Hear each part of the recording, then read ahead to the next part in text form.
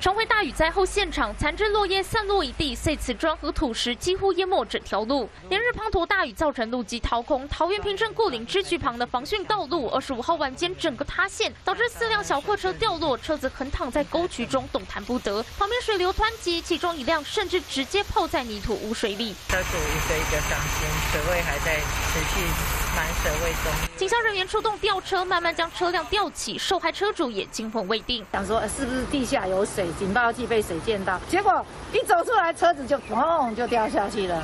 这段防汛道路大概塌陷了一百公尺，所幸没有人员伤亡。有发现有一些排水的干管哦进到我们的呃过滤支渠，会呃跟公所这边哈来讨论，看如何做一个改善。